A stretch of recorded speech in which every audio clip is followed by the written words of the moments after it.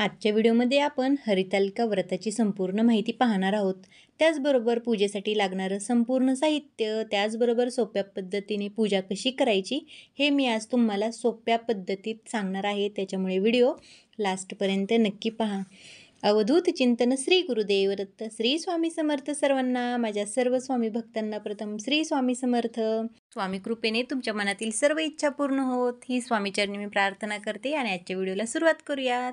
जर प्रथमच कोणी माझ्या व्हिडिओवरती म्हणजे किंवा माझ्या चॅनलवरती आलेले असेल तर प्रथम चॅनेलला सबस्क्राईब करा का तर बऱ्याचशा गोष्टींशी निगडीत आपला हा चॅनेल आहे. त्याच्यामुळे चॅनेलला नक्की सबस्क्राईब करा. व्हिडिओ आवडला तर व्हिडिओला लाईक करा आणि माहितीच आवडली कुणाला शेअर करू वाटली तर नक्कीच व्हिडिओ शेअर करा. हरितालिका व्रत जवळ येत आहे तर ते केव्हा आहे किती तारखेला आहे त्याची पूजा केव्हा करावी कशी करावी खूप सोप्या पद्धतीने आज मी डिटेल्समध्ये व्हिडिओ बनवणार आहे. तर व्हिडिओ लास्टपर्यंत नक्की पहा व्रत कसे करावे त्याचबरोबर व्रत करणाऱ्याने काय ग्रहण करावे काय खावे काय प्यावे यालासुद्धा काही नियम आहेत.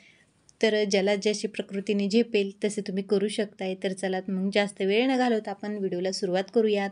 भाद्रपद महिन्याच्या शुद्ध पक्षातील तृतीयेला हरितालिकेचे व्रत केले जाते. यंदा सोमवार दिनांक अठरा सप्टेंबर दोन हजार तेवीस रोजी हरितालिका हे व्रत केले जाणार आहे. तर त्याच्यासाठीच आज आपण हरितालिकेची पूजा कशी करावी त्याचे साहित्य काय काय आहे हे मी आज तुम्हाला डिटेल्समध्ये सांगणार आहे. हरितालिकेच्या पूजेसाठी सगळ्यात महत्त्वाच्या असतात त्या म्हणजे या पत्री. अर्थात वेगवेगळ्या फळं आणि फुलझाडांच्या पालव्या. प्रत्येकी पाच किंवा अकरा पानं तुम्हाला प्रत्येक झाडाची घ्यायची आहेत. ही पानं हरितालिका किंवा हरितालिकेच्या दिवसांमध्ये बाजारात विकतही मिळतात. जी शक्य असतील ती फुले घ्या शक्य झाल्यास पांढरी फुले वापरा. का तर महादेवाची पूजा आहे म्हणून पाच फळे घ्यायची. देवाची पूजा आहे म्हणून आपल्याला जास्तीत जास्त होता होईल एवढे आपल्याला सफेद फुलांचा वापर करायचा आहे. तसेच फा पाच फळं घ्यायची आहेत. पाच फळे शक्य नसतील तर एकच फळ पाच या प्रमाणात घेतले तरीही चालेल. म्हणजेच पाच पेरू पाच चिक्कू पाच ॲपल किंवा पाच केळी अशा प्रकारे घेतलं तरीही चालेल. महादेव बनवण्यासाठी सर्वात आवश्यक म्हणजे ती असते म्हणजे वाळू.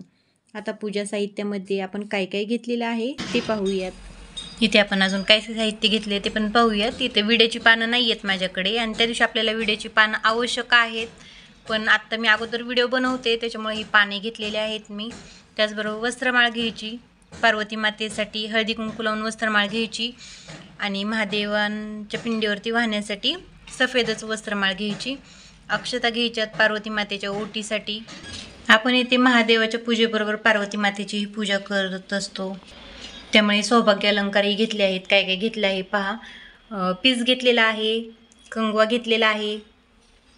त्याचबरोबर हिरव्या बांगड्या आहेत मंगळसूत्र आहे. परत ओटीसाठी तांदूळ घेतलेले आहेत.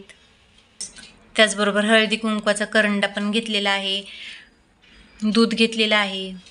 त्याचबरोबर दोन निरंजन पण घेतलेले आहेत. आता मी तुम्हाला थोडी हरतालिकेच्या व्रताबद्दल माहिती सांगते. हरतालिकेचे व्रत हे कोणतीही स्त्री करू शकते. जिचं लग्न झाले ते जिचं लग्न नाही झाले तेही करू शकते. पार्वती मातेने हे व्रत केलं होतं महादेव पती मिळावेत म्हणून. आणि प्रत्येक स्त्री हे व्रत करते चांगला पती मिळावा म्हणून. आणि लग्न झालेल्या स्त्रियासुद्धा हे व्रत करतात त्यांच्या पतीला उदंड आयुष्य आणि आरोग्य लाभावे म्हणून. या पाठीमागे आपापला भाव आहे. आपापली श्रद्धा आहे. त्या श्रद्धाभावाने ही पूजा केली जाते. चला मी आता तुम्हाला दाखवते वाळूचा महादेव कसा करावा. वाळूचा महादेव करण्यासाठी एक पाठ घ्या. पाठ घेतला म्हणजे सर्व पूजा व्यवस्थित मांडता येते. तुमच्याकडे पाठ नसेल तर तुम्ही टिपॉयवर पूजा मांडा आणि टिपॉयही नसेल तर जमिनीवर मांडा. जमीन स्वच्छ पुसून घ्या. फक्त पूजा डायरेक्ट जमिनीवर मांडू नका. जमिनीवरती एखादा ब्लाऊ ब्लाऊज पीस अंतरा आणि त्याच्यावरती आपल्याला ही पूजा मांडायची असते. जी वाळू आपण आणलेली असते न तर ती नदीवरून आलेली असते त्याच्यामुळे वाळू स्वच्छ धुवून घ्यायची.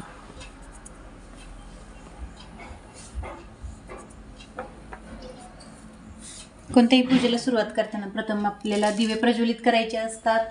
तर दिवे प्रज्वलित करण्यासाठी त्यांच्या खाली आहे ना अगोदर अक्षता ठेवायच्या त्याच्यावरती हळदी कुंकू व्हायचं आणि त्याच्यावरती दिवे ठेवायचे असतात.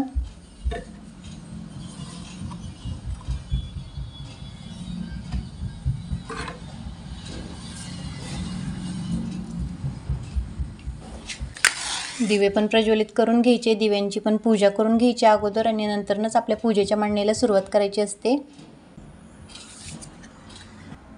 दिवे प्रज्वलित झाले तर आपण दिव्यांची पण पूजा करून घेऊयात.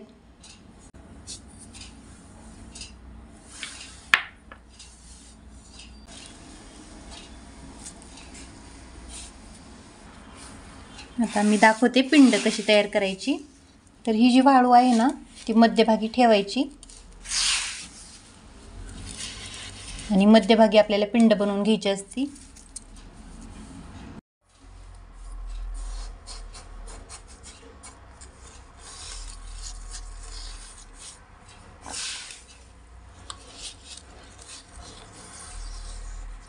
आणि वाळू आहे ना स्वच्छ धुवूनच घ्यायची. का तर नदीच्या ठिकाणून वाळू आलेली असते त्याच्यामुळे वाळू केव्हा पण तशी नाही यूज करता वाळू धुवून घ्यायची.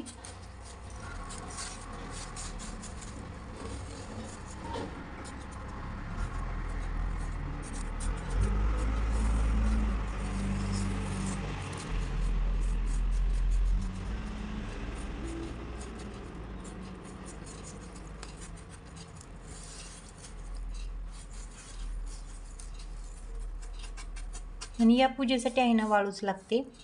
आपण तिथं बाकी काहीच यूज करू शकत नाही. महादेवाची पिंड बनवण्यासाठी आपल्याला वाळू आवश्यक असतेच.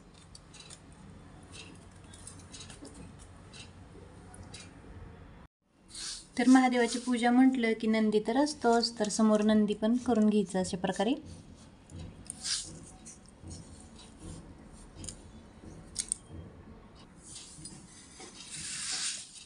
आता आपणाला आहे ना पार्वती माता पण काढून घ्यायची आहे.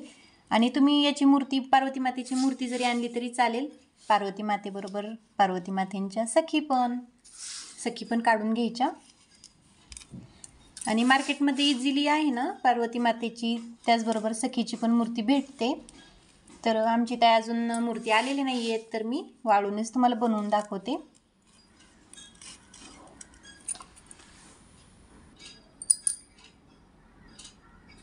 तर या प्रकारे आपण वाळूचा महादेव तयार केलेला आहे पार्वती माता सखी नंदी महाराज सुद्धा बनवलेले आहेत. आता आपण पूजेला सुरुवात करूयात.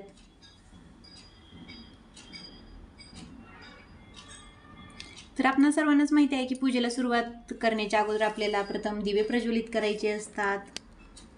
आपणाला दिव्याची पूजा करायची असते तर आपण दिवे प्रज्वलित केलेले आहेत. दिव्यांची पूजा पण आपण करून घेतलेली आहे. नंतर ना आपण एक तामण घ्यायचं. तामण नसेल तर एखादी प्लेट घेतली तरीही चालेल. तर माझं तामण दुसऱ्या ठिकाणी म्हणजे देवाच्या पुढे यूज झालेलं आहे. त्याच्यामुळं मी हे प्लेट घेतलेली आहे. तर ती प्लेट घ्यायची. त्याच्यामध्ये गणपतीची मूर्ती ठेवायची. मूर्ती नसेल तर सुपारी ठेवा. मूर्ती ठेवल्याच्या नंतरनं आपल्याला आहे ना गणपती बाप्पाला अभिषेक करायचा आहे. तर प्रथम पाण्याने करायचा. पाण्याने अभिषेक करताना बोलायचं. शुद्धोदक स्नानम. चांगल्या पाण्याने स्वच्छ पाण्याने अभिषेक करून घ्यायचा. शुद्धोदक स्नानम बोलून झाल्याच्यानंतर आपल्याला अभिषेक करण्यासाठी ओम गणगणपते नमः या मंत्राचा जप करायचा आहे. त्यानंतरनं तुम्ही पाण्याने झाल्याच्या नंतरनं तुम्ही दुधाने अभिषेक केला तरीही चालेल. दुधाने पंचामृताने जरी अभिषेक केला तरीही चालेल. पंचामृत नसेल तर दुधाने केला तरीही चालेल. दुधाने अभिषेक झाल्याच्या नंतरनं प्रत्येकदा स्वच्छ पाण्याने अभिषेक करायचा. त्यावेळेस पण बोलायचं ओम गणगणपते नमः. त्यानं त्याचबरोबर शुद्धोदक स्नानम हेही बोलायचं.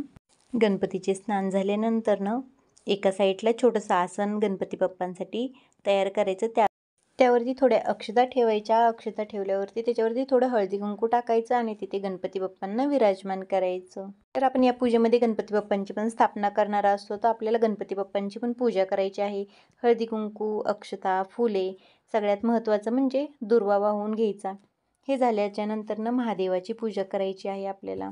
दुर्वा वाहून झाल्याच्या नंतरनं आपल्याकडे जेवढी फुले असतील जास्तीत जास्त म्हणजे शक्यतो करून आहे ना जास्वंदीचं फुल असेल तर आवर्जून व्हा. का तर गणपती बाप्पाला जास्वंद खूप प्रिय आहे. हे झाल्यावर महादेवाची पूजा करायची आहे आपल्याला. आता या वाळूच्या महादेवाला आपण अभिषेक घालू शकत नाही कारण त्याचा आकार बिघडेल. म्हणून आपण काय करायचे? एक फूल घ्यायचे. ते चांगल्या पाण्यामध्ये डीप करायचे आणि पिंडीवर पाणी शिंपडत शुद्धोदक स्नानम समर्पयामी. असे असे करून झाल्यावर पार्वती मातेला पण तसेच करायचे. असे अशा प्रकारे फूल पंचामृतामध्ये बुडवून पंचामृत स्नानम समर्पयामी. परत पाण्याने शुद्धोदक स्नानम समर्पयामी. आपणा सर्वांना तर माहीतच आहे की महादेवांना हळदी कुंकू वाहत नाहीत. तर त्याच्यामुळे आहे ना मी भस्म लावते. तुम्ही चंदन लावला तरीही चालेल. महादेवांना अक्षदा वाहून घ्यावेत पार्व पार्वती मातेला पण हळदी कुंकू व्हावे. त्याचबरोबर त्यांच्या सखींनासुद्धा हळदी कुंकू व्हावे अक्षता व्हाव्यात. नंदी महाराजांना सुद्धा हळदी कुंकू वाहून अक्षता व्हायच्या आहेत. आता पत्री व्हायला सुरुवात करण्याच्या अगोदर विडा ठेवणार आहोत.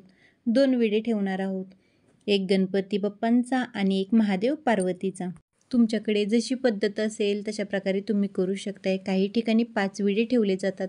तुम्ही पाच विडे ठेवले तरीही चालतील. आता आपण आहे ना पार्वती मातेला वस्त्रमाळ वाहून घेऊयात. तर ती वस्त्रमाळ जिला हळदी कुंकू लावलेले होते ती वस्त्रमाळ पार्वती मातेसाठी आहे. आणि जिला हळदी कुंकू लावलेले नाही ती पिंडीवरती आपल्याला व्हायची आहे. तर मी वस्त्रमाळ वाहून घेते. नंतर मी गुलाबाची फुलं पण ठेवते पार्वती मातेसाठी. जर तुम्हाला गजरे आणणं शक्य झालं तर तुम्ही या दिवशी गजरे आणा. आता माझ्याकडे पार्वती मातेची आणि तिच्या सखींची मूर्ती नाही आहे तर मी गुलाबाची फुलं वाहत आहे. आता मी ज्या दिवशी हरितालिकेचे व्रत असेल त्या दिवशी मी आवर्जून मूर्ती आणणार आहे. त्या दिवशी आपल्याला मूर्ती आणायची आहे. शक्य नसेल तर तुम्ही या प्रकारे पूजा केली तरीही चालेल. शक्य झाले तर मूर्ती आणली तरीही चालेल. मूर्ती आणली तर आवर्जून गजरे पण आणा. ते झाल्याच्यानंतर ना तुम्ही छान अशी फुलांची सजावटही करू शकताय. तुम्हाला ज्या प्रकारे आवडेल त्या प्रकारे तुम्ही पूजेची मांडणी करा. पूजेची मांडणी शक्यतो कोणी याच पद्धतीने केली जाते पण फुलांची सजावट तुमच्या आवडीनुसार केली तरीही चालेल.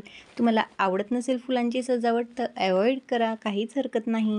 मला या गोष्टी करायला आवडतात त्याच्यामुळे मी या गोष्टी करत असते. तर अशा प्रकारे सर्व मांडणी झाल्याच्यानंतर ना आपल्याला जे आपल्या पत्री आपण आणलेल्या आहेत तर त्या पत्री व्हायच्या आहेत. तर सर्व पत्री व्यवस्थित वाहून घ्यायच्या आणि जर पिंडीवरती वाहणं शक्य नसेल. आता मी पिंडीवरती वाहून दाखवते पण जर शक्य नसेल तर तुम्ही साईडला ठेवले तरीही चालेल. या दिवशी आपल्याला आवर्जून बेलाचं पान लागणार आहे. त्याचबरोबर आपल्याला धोत्र्याचं फूल किंवा धोत्र्याचं फळ पण आवश्यक आहे. तुमच्या इच्छेने तुम्ही किती पण बेल आणा अकरा आणा एकशे आठ आणा किंवा एक जरी बेल आणलं किंवा एक जरी बेल तुम्हाला सापडलं बेलाचं पान तरीही तेच बेलपत्र तुम्ही एकशे आठ नामावली घेत घेत वाहिली तरीही चालेल. हे झाल्यानंतरनं आपण माता पार्वतीला सौभाग्य अलंकार अर्पण करूयात. त्यामध्ये सर्वात आधी पीस ठेवायचा त्याच्यानंतर मणिमंगळसूत्र ठेवायचं त्याच्यानंतरनं तुम्ही बांगड्या ठेवा. बांगड्या ठेवल्याच्यानंतर तुमच्याकडे जर जोडव्याचा नवीन सेट असेल तर तुम्ही तो जोडव्याचा नवीन सेट ठेवा आरसा ठेवा कंगवा ठेवा. सगळ्यात महत्त्वाचं हे अक्षता म्हणजे ओटीला जे आपण तांदूळ ठेवणार आहोत तर ते तांदूळ पण ठेवा. तर या प्रकारे आपली हरतालिकेची पूजा झालेली आहे. नैवेद्य यानंतर आपण नैवेद्य दाखवायचा. तुम्ही फळांचा नैवेद्य दाखवा दूध दाखवा तुम्ही दही दाखवा किंवा तुम्ही लस्सी दाखवा. किंवा तुम्ही स्वीटमध्ये तुम्ही पेढा दाखवू शकताय बर्फी दाखवू शकताय. तुमच्या इच्छेनुसार तुम्ही कशाचाही नैवेद्य दाखवू शकताय. आणि काही शक्य नसेल तर फक्त खडी साखर किंवा साखर जरी ठेवली तरीही चालेल. धूपदीप ओळून घ्यायचा. हे सर्व झाल्याच्यानंतर मनोभावी नमस्कार करायचा. त्यानंतर हरी हरितालिकेची कथा वाचायची नंतर हली हरितालिकेची आरती करायची. तर हे झाली पूजा मांडणी. तर या दिवशी आपण व्रत कसे करावे? उपवास कसा धरावा? तर सकाळी लवकर उठावे. स्नानाने शुचिरभूत व्हावे. दिवसभर उपवास करावा. ज्यांच्या प्रकृतीला झेपत असेल त्यांनी फक्त फलहार घेऊन उपवास करावा. शक्यतो करून म्हणजे या दिवशी आहे ना फलहारच घेतला जातो. खिचडी वगैरे या व्रताला चालत नाही. तर तुम्ही फळं खाऊ शकताय. तुम्ही त्यांचे ज्यूस करून पिऊ शकताय दूध घेऊ शकताय दही घेऊ शकताय लस्सी घेऊ शकताय. तर या प्रकारे आपल्याला दिवसभर उपवास करायचा असतो. या दिवशी आपण संध्याकाळी उपवास सोडू शकत नाही. तर हा उपवास आपल्याला दुसऱ्या दिवशी म्हणजे मंगळवारी सोडायचा आहे. तर या दिवशी आपण दिवसभर उपवास करायचा. तुम्ही चहा घेतला तरी चालेल. फक्त आपल्याला खिचडी वगैरे खायची नाही. म्हणजे मिठाचा पदार्थ आपल्याला या दिवशी खायचा नसतो. तर दुसऱ्या दिवशी या व्रताची. आता ही पूजा आपण अशीच मांडणी ठेवायची आहे सोमवारच्या दिवशी तर याची मांडणी आपल्याला मंगळवारी उचलायची आहे. तर मांडणी कशी उचलायची? प्रथम दिवा प्रज्वलित करायचा मंगळवारच्या दिवशी सकाळी उठून आंघोळ वगैरे झाल्याच्या नंतरनं दिवा प्रज्वलित करायचा. दिवा प्रज्वलित केल्याच्या नंतरनं सर्व मांडणीवरती हळदी कुंकू व्हायचे. धूपदीप ओवळायचा. सकाळी आरती नाही केली तरीही चालेल. धूपदीप ओवळल्याच्या नंतरनं गूळ आणि खोबऱ्याचा नैवेद्य दाखवायचा. गुळ आणि खोबऱ्याचा नैवेद्य दाखवल्याच्या नंतरनं तुम्ही पूजा मांडणी उचलू शकताय. पूजा मांडणी उचलल्याच्या नंतरनं हे जे साहित्य आहे म्हणजे जी आपण पिंड बनवण्यासाठी जी वाळू वापरलेली आहे त्याचबरोबर ज्या पत्री वापरलेल्या आहेत त्याचबरोबर जी फळे आहेत याचं काय करायचं? तर वाळू फुले पत्री तुम्ही पाण्यामध्ये सोडून द्यायची. ती पण वाहत्या पाण्यामध्ये सोडून द्यायचे हे साहित्य. फळं तुम्ही घरी खाल्ली तरीही चालेल. या प्रकारे आपण पूजा मांडणी उचलूही शकतोय. तरी छान सोपी एकदम सोप्या पद्धतीने मी तुम्हाला हरितालिके व्रताची मांडणी सांगितलेली आहे. व्रत कसे करावे हे पण सांगितलेले आहे. तर तुम्हाला प्रकृतीला झेपत असेल तर याच प्रकारे व्रत करा. जर झेपत नसेल तर तुम्ही फल आहार घ्या. तर चलात मग. आजचा व्हिडिओ मी इथंच थांबवते. आय होप तुम्हाला ही माहितीसुद्धा आवडली असेल. हा व्हिडिओसुद्धा लक्षात आलेला असेल. व्हिडिओ आवडला असेल तर माझ्या व्हिडिओला लाईक करा. नवीनच असेल तर माझ्या चॅनलला सबस्क्राईब करा. चलात मग भेटूयात अशाच नवनवीन व्हिडिओबरोबर तोपर्यंत श्री स्वामी समर्थ जय जय स्वामी समर्थ श्री स्वामी समर्थ जय जय स्वामी समर्थ.